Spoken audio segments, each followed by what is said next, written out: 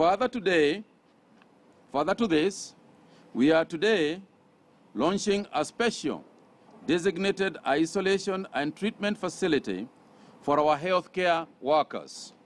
This facility will be able to offer both critical care, basic care services for our healthcare workers. All costs incurred during treatment shall be met by the government. This center is a product of collaboration between the Ministry, the, the Ministry of Health, the Rockefeller Foundation, and AMREF.